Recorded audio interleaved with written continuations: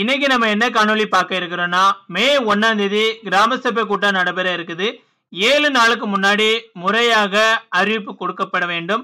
அறிவிப்பு கொடுக்கப்படாத ஊராட்சி தலைவர் மீது சட்டப்படி சட்ட பிரிவுகளின்படி எப்படி நடவடிக்கை எடுக்கிறதுக்கு மனு கொடுக்கணும்? அது குறித்த விரிவான தகவலை தான் இந்த காணொலியில் பார்க்க இருக்கிறோம். அதுக்கு முன்னாடி என்னோட சேனலை சின்ன இன்ட்ரோ கொடுத்தது. என்னோட சேனல்ல நீங்க பிளேலிஸ்ட் பண்ணீங்கன்னா எல்லா வீடியோக்களும் தனித்தனி தொகுப்புகளாக உள்ளது. மோட்டிவேஷன் கிராம சபை அஜெண்டா ஏரியா சபை சேமிப்பு திட்டங்கள். அரசு செய்தி வெளியீடு மகாத்மா காந்தி தேசிய உறுப்பு திட்டம் பேரூராட்சி வருவாய்த்துறை பதிவுத்துறை அரசு வேலைவாய்ப்பு டெக்குடியர்கள் கிராம சபை சட்டம். கவர்மெண்ட் ஆன்லைன் வெப்சைட்டுகள் கிராம சபை ஆலோசனை கோவிட் நைன்டீன் அரசு நலத்திட்டங்கள் உள்ளாட்சி ஜிபிடிபி ஆர்டிஐ கிராம சபை தொகுப்பு இப்படி பல்வேறு தொகுப்புகளா அறநூறுக்கும் மேற்பட்ட காணொளிகள் உள்ளது. டைம் கிடைக்கும் பாருங்க. பிடிச்சிருந்தா லைக் பண்ணுங்க கமெண்ட் பண்ணுங்க. பயனுள்ள இருந்தா மற்றவங்களுக்கு ஷேர் பண்ணுங்க. தொடர்ந்து என்னோட பதிவில் உங்களுக்கு வேணா மறக்காம சப்ஸ்கிரைப் பண்ணி பெல் பட்டனை ஆல் கிளிக் பண்ணுங்க. வாங்க வீடியோ கண்டனுக்குள்ள போகலாம்.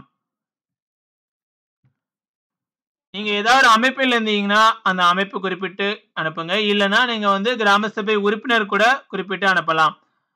பெருநர் வந்து நான் மாவட்ட ஆட்சியருக்கு அனுப்பியிருக்கேன். நகல் வந்து இன்னும் பல அலுவலர்களுக்கு குறிப்பிட்டிருக்கேன். அதை பார்க்க இருக்கிறோம்.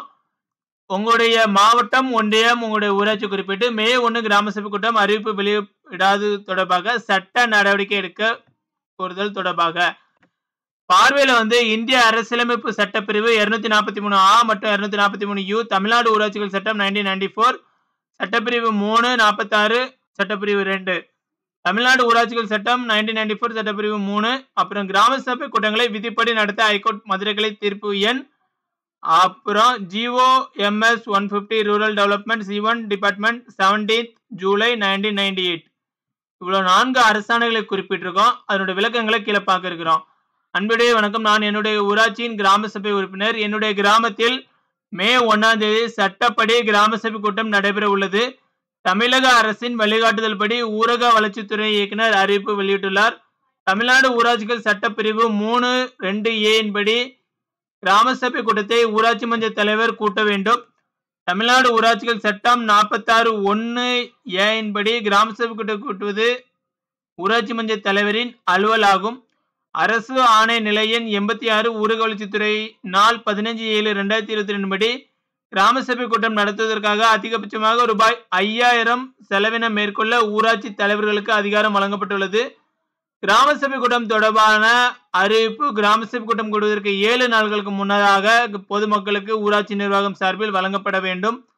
துண்டு பிரச்சுரங்கள் பிளக்ஸ் பேனர் தண்டோரா போன்ற வகைகளில் கிராம சபை கிராம சேவை தொடர்பான கூட்ட அழைப்பு பொதுமக்களுக்கு கிராம ஊராட்சி மூலமாக வழங்கப்பட வேண்டும் என்று தமிழ்நாடு ஊராட்சிகள் சட்டம் மற்றும் விதிகள் அரசாணைகள் மூலமாக ஊராட்சியின் செயல் அலுவலரான ஊராட்சி மன்ற தலைவர் கடமை வைத்துள்ளது ஆனால் இந்த நிமிடம் வரை ஊராட்சி மன்ற தலைவர் கிராம சபை கூட்ட அறிவிப்பினை பொதுமக்களுக்கு வெளியிடவில்லை.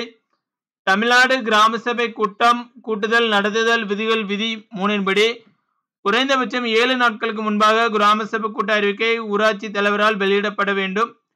தண்டோரா மற்றும் துண்டு பிரசுரங்கள் தெரிவிக்க வேண்டும் என்று ஊராட்சி மன்ற தலைவருக்கு கூட்டம் சட்டம் கட்டளையிட்டுள்ளது.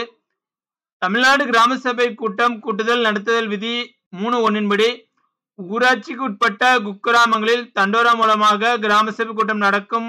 நாள் இடம் நேரம் கூட்டப்பொருள் அஜெண்டா ஆகிய விவரங்கள் ஊராட்சி மன்ற தலைவர் தெரியப்படுத்த வேண்டும்.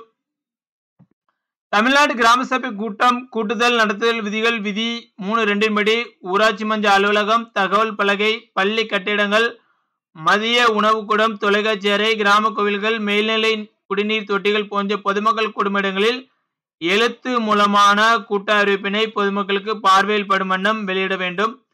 தமிழ்நாடு கிராம சபை கூட்டம் கூட்டுதல் நடத்துதல் விதிகள் விதி மூணு முனின்படி கூட்ட அறிவிப்பின் நகல் மற்றும் பொருள் ஊராட்சியின் ஆய்வாளருக்கு ஏழு நாட்களுக்கு முன்பு கட்டாயம் அனுப்பப்பட வேண்டும் என்று சட்டம் ஊராட்சி மன்ற தலைவருக்கு கட்டளையிட்டுள்ளது.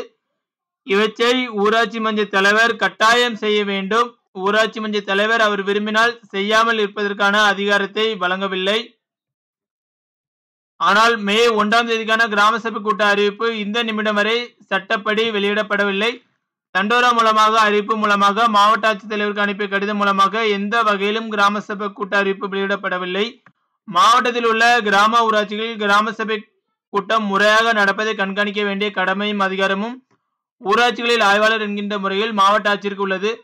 தமிழ்நாடு ஊராட்சிகள் சட்டம் மற்றும் விதிகள் படி கட்டாயம் செய்ய வேண்டிய கடமையான ஏழு நாட்களுக்கு முன்பாக கிராம சபை கூட்ட அறிவிப்பினை வெளியிடவும் விளம்பரப்படுத்தவும் மாவட்ட ஆட்சியருக்கு அனுப்பவும் செய்ய தவறிய ஊராட்சி மன்ற தலைவர் மீது சட்டப்படியான கடுமையான ஒழுங்கு நடவடிக்கை எடுக்க வேண்டுமாய் கேட்டுக்கொள்கிறோம்.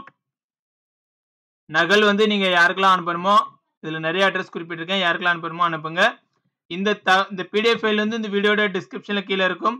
இந்த தகவல் உங்களுக்கு பயனுள்ளதா இருந்தால் லைக் பண்ணுங்க கமெண்ட் பண்ணுங்க மற்றவங்களுக்கு ஷேர் பண்ணுங்க. தொடர்ந்து என்னோட பதிவில் உங்களுக்கு நான் மறக்காம சப்ஸ்கிரைப் பண்ணி பெல் பட்டனா ஆல் கிளிக் பண்ணுங்க. அடுத்த ஒரு நடப்பில் சந்திப்போம். நன்றி நண்பர்களே.